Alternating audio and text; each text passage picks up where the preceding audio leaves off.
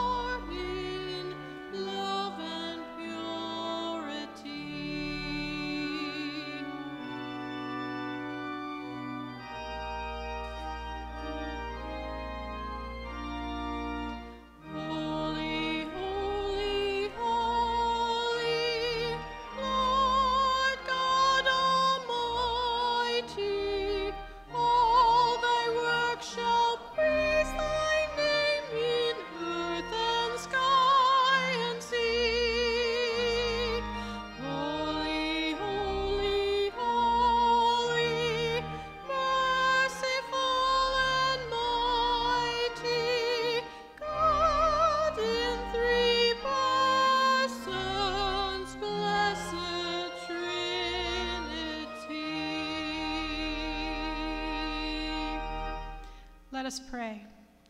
God of the past, present, and future, seldom do we know what you'll ask of us each day. Many times we are in the moment when we feel the nudging of your Spirit to act. As we spend time in your house today, may our souls be aligned with you so that we may readily respond when you call. Amen. Please join me in our call to worship. God calls us here today. We bring our full selves to God, our strengths and our weaknesses. God calls you here today. We offer all we are to God, our talents and our inadequacies. God calls every part of us to bring divine love and light into the world. We respond to that call, trusting that God is at work within us. Amen. Amen. You may be seated. Our first scripture reading comes from Psalm 33, 12 through 22, and it's a responsive reading. Blessed is the nation whose God is the Lord, the people whom the Lord has chosen as a heritage. The Lord looks down from heaven and sees all peoples. The Lord sits enthroned and looks forth on all the inhabitants of the earth, fashioning the hearts of them all and observing all their deeds. A king is not saved by his great army. A warrior is not delivered by his great strength. The war horse is a vain hope for victory, and despite its great might, it cannot save. Behold, the eye of the Lord is on those who are faithful and hope for God's steadfast love. To deliver the souls from death and to keep them alive in famine. Our soul waits for the Lord, who is our help and shield. Our heart is glad in the Lord because we trust in God's holy name. Let your steadfast love, O Lord, be upon us, even as we hope in you. Let's join our voices together in singing number 697, America. We'll be singing verses 3 and 4.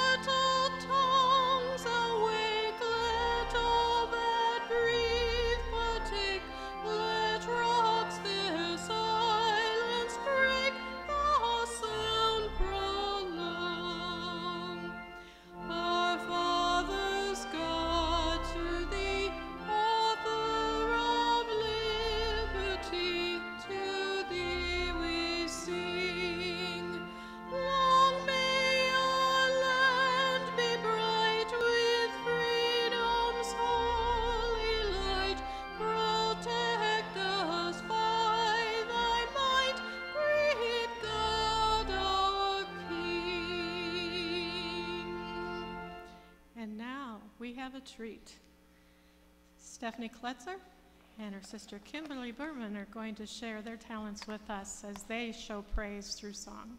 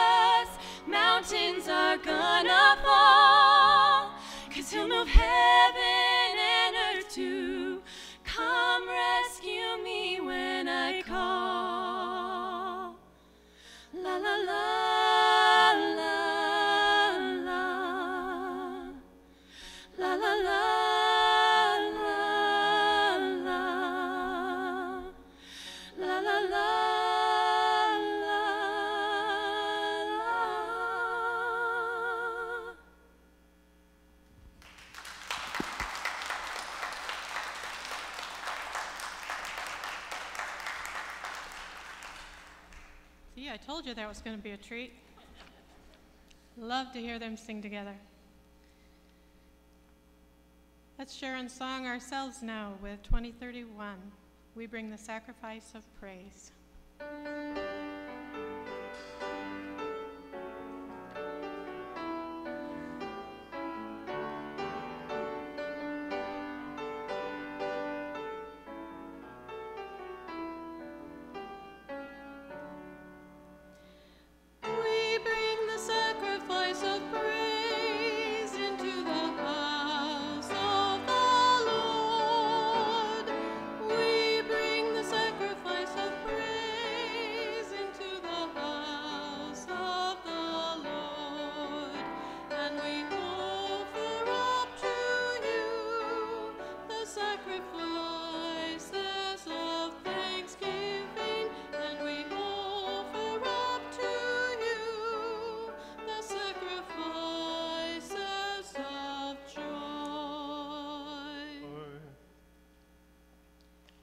Stand if you're able for the gospel reading.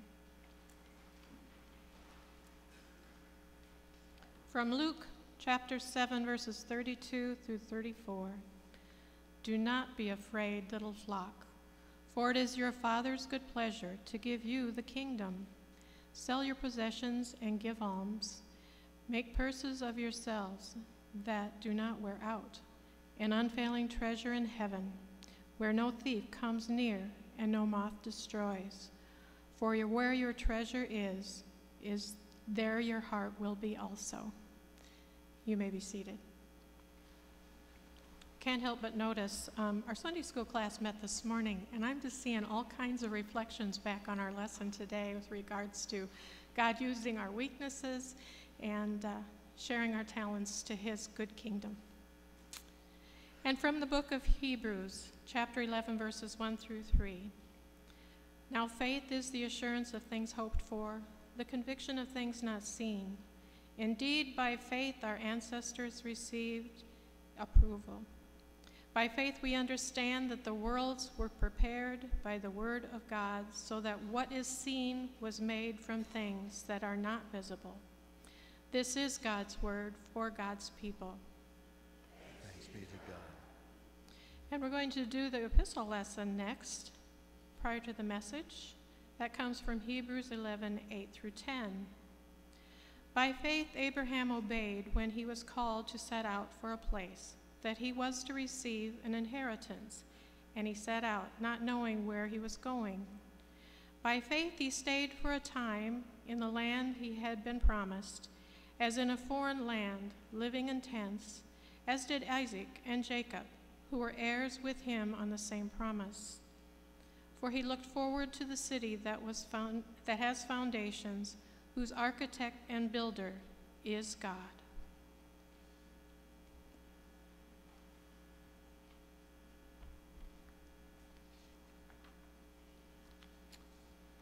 Good morning. Morning.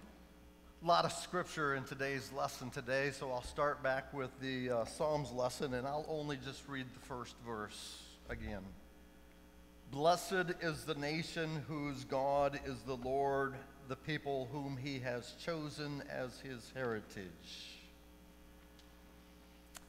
We sang the hymn America. I'd like to remind you that a lot of the hymns started out as prayers. This particular hymn, America, My Country, Tis of Thee, was written by Reverend Samuel F. Smith, a preacher. A preacher. And again, it was a prayer. A prayer that we find in our hymnals partially for time constraints, for the ease and the comfort of our musicians that don't have to play eight or nine verses every Sunday or whenever we sing the songs. And yet, as a hymn, we sing it with pride. We are Americans. But again, I skipped the first and the second verse because that Psalms lesson calls us that great is the nation whose God is the Lord. Any nation, any people who will obey the word of the Lord, who will apply themselves, who will teach their children, and who will humble themselves and pray. One of the verses in his prayer that is not in the hymnal goes like this. Our glorious land today, neath education's sway, soars upward still, its hills of learning fair, whose bounties all may share. Behold them, schools everywhere, on vale and hill thy safeguard, their teaching, liberty, and the school shall ever be our nation's pride. No tyrant hand shall smite while our encircling might here are taught right with truth allied. As a prayer, I'd like to say amen. Amen to a prayer that I'm not sure ever achieved the fullness of his hopes in his time or in ours. It seems as if we today live in a time when we wonder about what is taught in our schools, forgetting that the church built and started so many, almost all of our schools of higher education had Christian beginnings. And yet we wonder as we watch the news,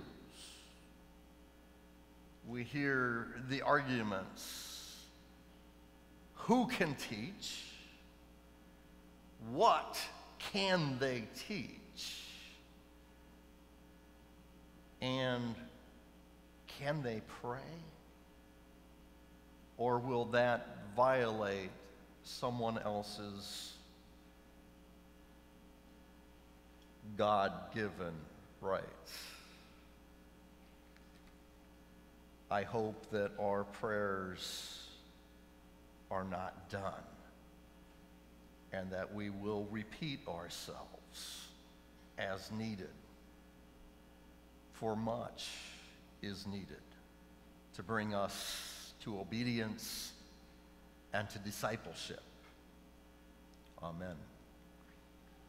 Our gospel reading from Luke 12 is an interesting because it starts with one of my favorite lines in all of scriptures that is repeated so often do not be afraid.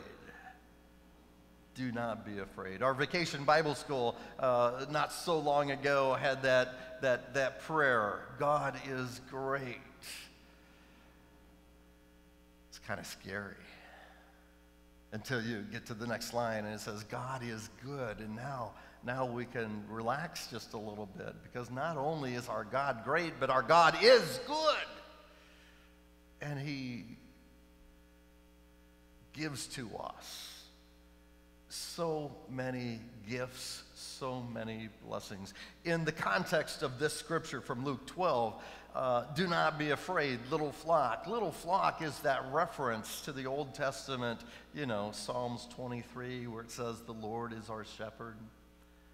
Little flock. He is still gathering us together, even as in the gospel lesson, he was gathering the beginning of the church, that small group of those who heard, who saw, who believed, and who had faith and their faith was growing even in spite of the circumstances they found themselves in. And that is why Luke was speaking to them and writing to them and to us that whatever circumstances you find yourselves in, you have to know whose you are.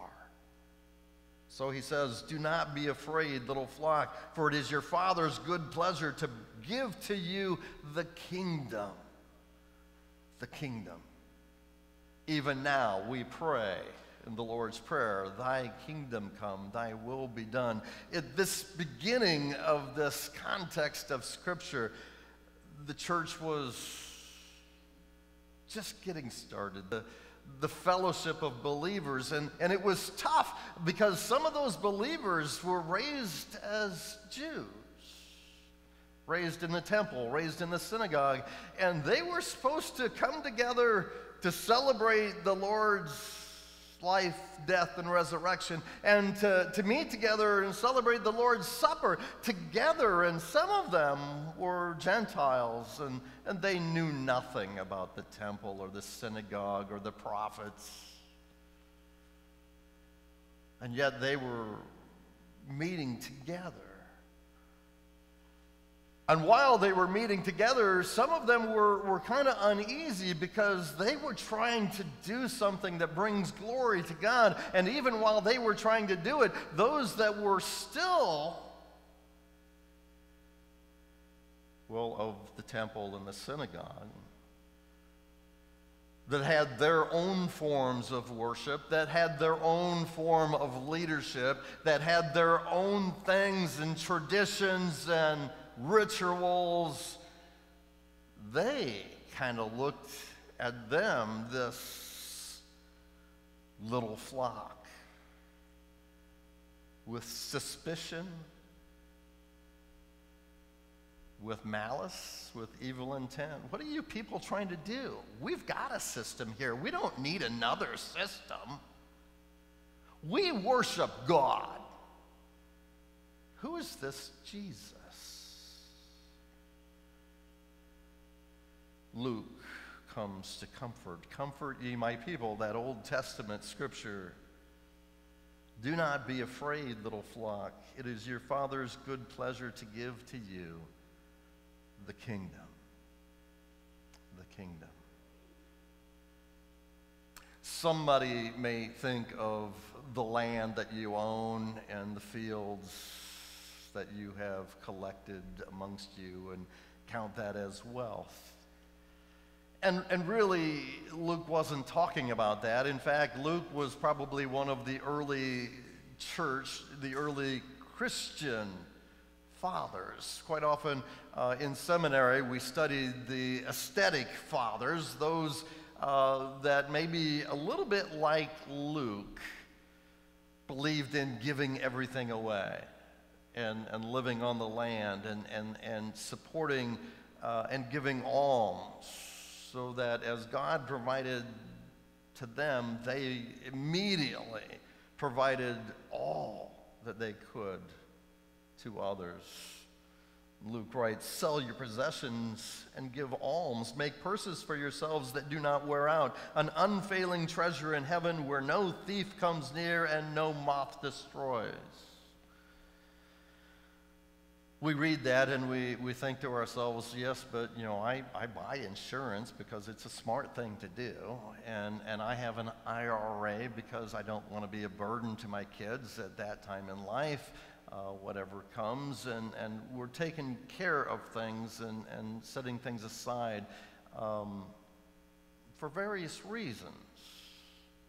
And even though today we are reading from the Gospel of Luke, if on another day we were reading from the Gospel of Matthew, Matthew kind of says God's gift is for you and his, his plan is to prosper you and to bless you.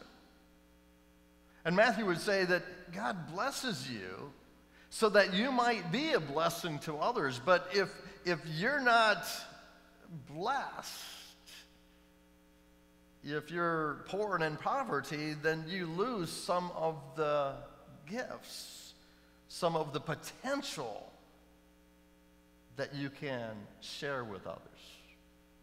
If you have no food on your table, you cannot invite another to come and eat with you.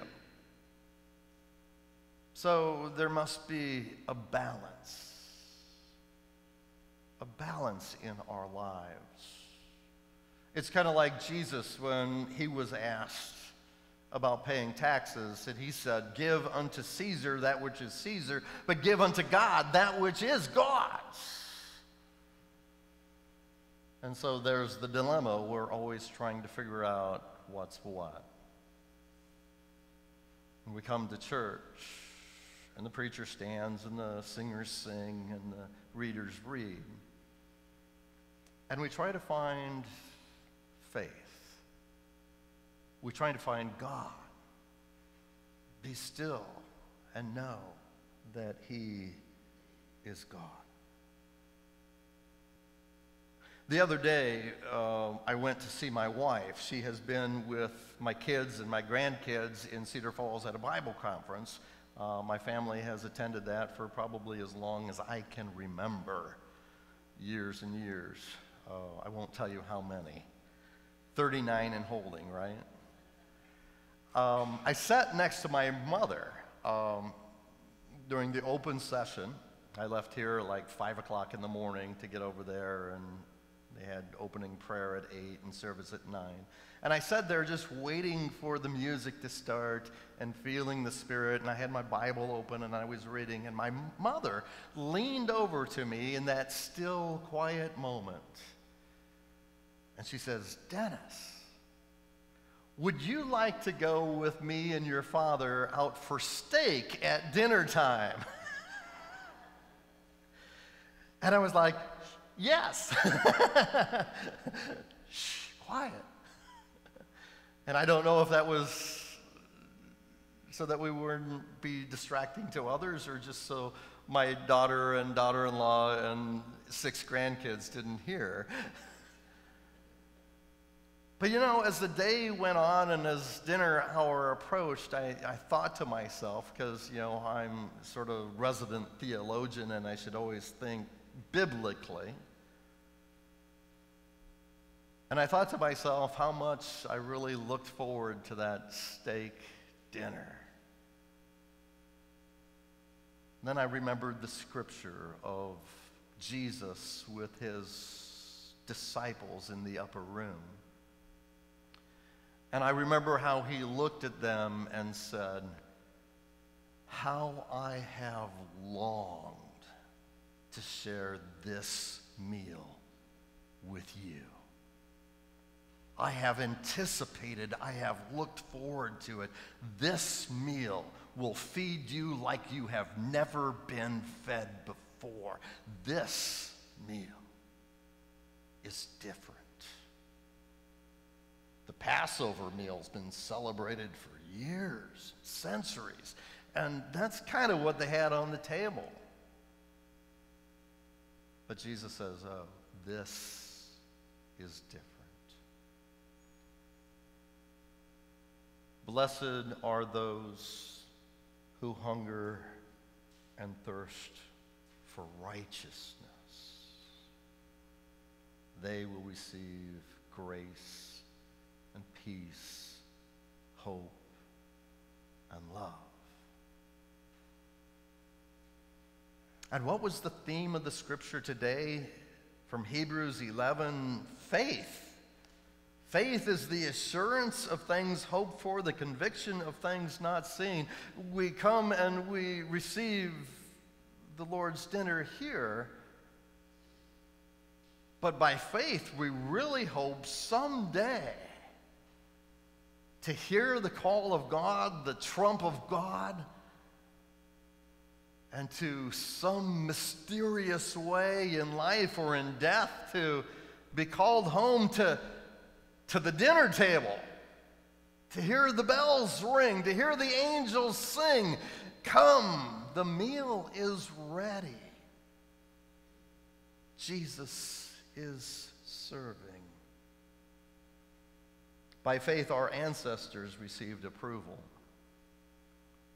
And by faith, we come before God to receive His blessing and to acknowledge the hope that we each have. But we don't come as individuals, we come together. We come together. Look around you and see who else is here. Look around you and ask. This is a house of prayer. Did I pray for myself?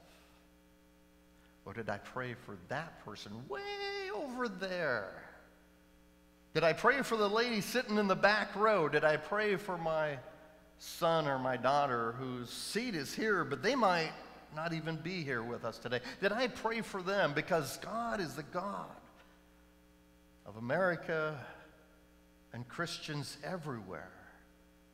And He gives to us this task, this message to share with our friends, neighbors, and our children. Once upon a time, a long time ago, I was a child. And I like to read. I like to read everything. But thankfully, my parents took me to church often enough that I read more church stuff. I read more Bible stuff. I read more devotional stuff than anything else. And still to today, that's pretty much the entirety of my library. Forgive me, or I should ask my wife to forgive me. This week I bought three more bookcases to hold the 12 books that I bought. Additionally, this week, even though I haven't unpacked the bags and the boxes of books that I have yet, but to take you back to a verse, to a poem that you also may have heard. C.T. Studd. Two little lines that I heard one day while traveling along life's busy way, bringing conviction to my heart, and from my mind they would not depart. Only one life, twill soon be past. Only what's done for Christ will last. Luke, in his gospel lesson, tells us to make purses that will not rot or wear out, that will hold our eternal treasure. Lord, come into our hearts. Come into our hearts, Lord Jesus. And all God's children said, Amen. Well, we're not having steak, we're having something even better. wherever you go this afternoon, say a prayer that it will do as much good for you as is promised. We receive this by faith. Receive this by faith. The Lord be with you. Lift up your hearts. Let us give thanks to the Lord our God. It is right to give our thanks and praise. It is right and good and joyful thing, always and everywhere, to give thanks to you, Father Almighty, creator of heaven and earth. You formed us in your image and breathed into us the breath of life. And when we turned away and our love failed, your love remained steadfast. You delivered us from captivity, made covenant to be our sovereign God, and spoke to us through your prophets who looked for that day when justice shall roll down like waters and righteousness like an ever flowing stream, when nation should not lift up sword against nation, and neither, even in our schools, public or private or religious or secular, they shall teach war no more, but teach peace. Jesus said, I am the way, the truth, and the life. I am your peace. And so, with your people on earth and all the company of heaven, we praise your name and join their unending hymn. Holy, holy, holy Lord, God of power and might. Heaven and earth are full of your glory. Hosanna in the highest. Blessed is he who comes in the name of the Lord. Hosanna in the highest. Holy are you, and blessed is your Son, Jesus Christ. For your Spirit anointed him to preach good news to the poor, to proclaim release to the captive and recovery of sight to the blind, to set at liberty those who are oppressed, and to announce the time that the time had come that he would save your people. And he healed the sick, fed the hungry, and ate with sinners. And by the baptism of his suffering, death, and resurrection, you gave birth to your church delivered us all from slavery to sin and death, and made with us a new covenant by water and the Spirit. And at his ascension, you exalted him to sit and to reign with you at your right hand. And you call us to give thanks and to remember how on that night in which he gave himself up for us, he took bread. He gave thanks to you. He broke the bread. He gave it to his disciples and said, Take and eat. This is my body, which is given for you. Do this in remembrance of me. And when the supper was over, he took the cup. He gave thanks to you. He gave it to his disciples and said, Drink from this, all of you. This is my blood of the new covenant poured out for you and for many for the forgiveness of sins. Do this as often as you drink it in remembrance of me. And so, in remembrance of these mighty acts in Jesus Christ, we offer ourselves in praise and thanksgiving as a holy and living sacrifice in union with Christ's offering for us as we proclaim the mystery of faith. Christ has died. Christ is risen. Christ will come again. Pour out your Holy Spirit on all of us gathered here and on these gifts of bread and juice. Make them be for us the body and blood of Jesus, that we, that we may be for the world the body of Christ, the church of Christ, redeemed by his blood and by your Spirit, make us one with Christ, one with each other, and one in ministry to all the world until Christ comes in final victory and we feast at his heavenly banquet. Through your Son, Jesus Christ, with the Holy Spirit in your holy church, all honor and glory is yours, Almighty Father, now and forever. Amen. Amen. Amen. In Hebrews 11, it says, By faith Abraham obeyed when he was called. I am asking you to take the name Abraham out of there and to put your name in. By faith, you are called. Will you be obedient to come? To come and to receive, to receive, to be filled, to be healed, to be appointed, to be sent out as God's body, carrying forth the good news to all the world. Come.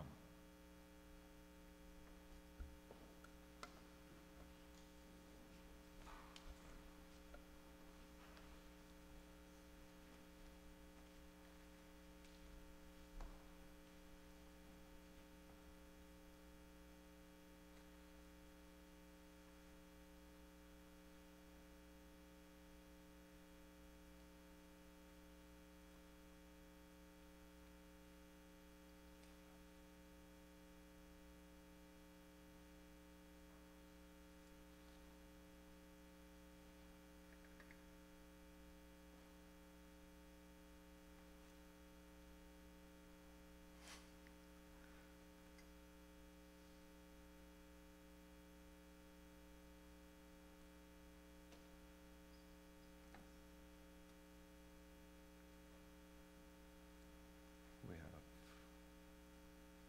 have of help today.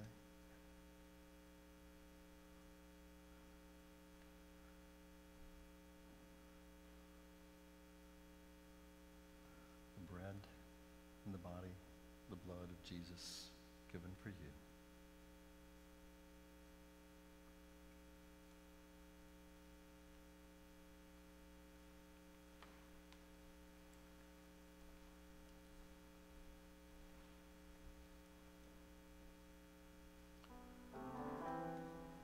Jesus said, Come unto me, all you who are weary and heavy laden, and I will give you rest.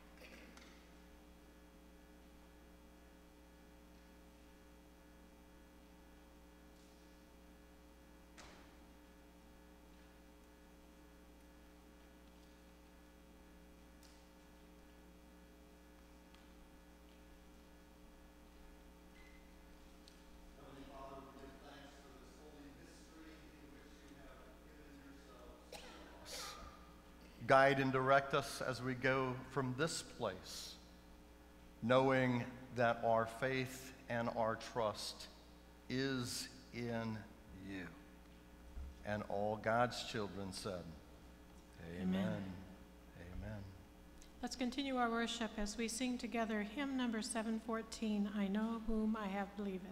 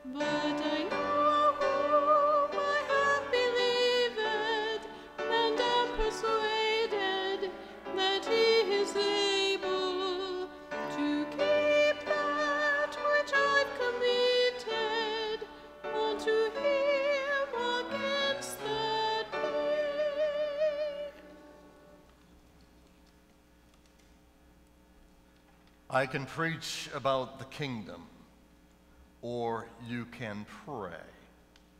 Our Father, who art in heaven, hallowed be thy name. Thy kingdom come, thy will be done, on earth as it is in heaven.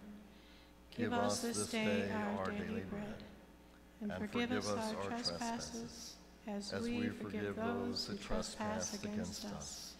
And lead us not into temptation, but deliver us from evil. For thine is the kingdom, and the power, and the glory forever. Amen. Be with us, Lord, as we go from this place. Give us each a task or a ministry to fulfill in your name, that we might truly glorify and show the world that it is good to have faith in you. And all God's children said, Amen. Amen. Let's close our time together of worship with number 395, Take Time to Be Holy.